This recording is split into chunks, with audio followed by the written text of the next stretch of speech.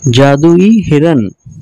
एक मर्तबा विशाल अपने गाँव की तरफ़ निकला, लेकिन रास्ता भटकने की वजह से वो जंगल में फंस चुका था। सोचा कि अब मैं यहाँ से कैसे निकलूं? उतने में शेर आ गया और उससे कहने लगा, मैं तुझे और तेरी हिरन को खा लूँगा। विशाल ने कहा, नहीं नहीं हमारे खाने से आपको कोई फ़ायदा नहीं पहुँचेगा। मैं इससे भी बड़ा जानवर आपको लाकर दूँगा। शेर ने कहा, नहीं नहीं, इसकी क्या गारंटी है कि तुम मुझे जानवर बड़ा लाकर दोगे?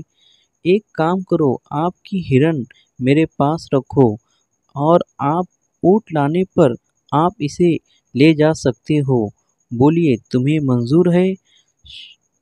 शेर खान ने कहा, ठीक है मंजूर है और विशाल अपने शहर की तरफ़ निकला और घर पर चला गया और बीवी से कहा, मुझे जंगल में एक शेर ने मेरी हिरण को किडनैप कर लिया है। वो कहता है कि ऊँट लाकर दो और आपकी हिरण लेकर जाओ।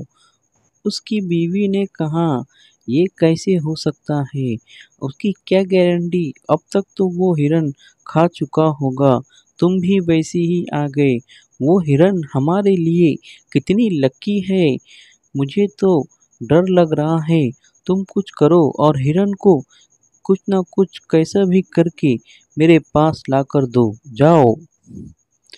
विशाल ऊँट वाले की तरफ़ गया। ऊँट वाले ने उससे कहा, ठीक है, मैं आपको मेरा एक ऊँट दे दूँगा, लेकिन इसकी कीमत ज़्यादा है। विशाल ने कहा, ठीक है, मैं आपको ऑनलाइन करता हूँ। और विशाल वहाँ से निकल गया। जाते जाते सोचने लगा कि मैं हिरन को भी और ऊँट को भी कुछ ना कुछ दिमाग लगाकर बचाऊँगा।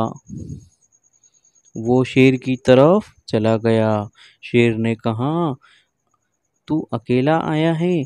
कहाँ है ऊँट विशाल ने कहा, वो रहा ऊँट, देखो। ऊँट की आखिरी इच्छा थी कि वो पेट भर कर खाना खा ले। इसलिए मैंने उसे खाना खाने के लिए पीछे छोड़कर आया हूँ।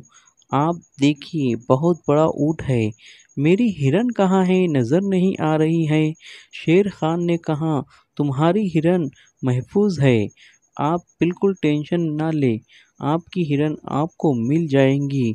आप ज़बान के पक्के हो, ले जाओ अपनी हिरन और खुशी खुशी जाना।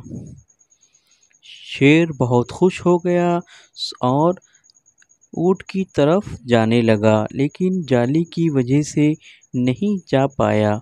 और कहा, ये इंसान बहुत चालाक होते हैं। इस इंसान ने मुझे तो धोखा दिया। धोखा ऐसा दिया शेर को कि शेर बेहोश हो गया।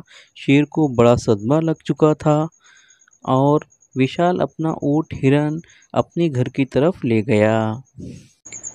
चलो बच्चों, हमें सब्सक्राइब लाइक शेयर ज़रूर कीजिए। हम फिर मिलेंगे आपको एक नए वीडियो के साथ। Good bye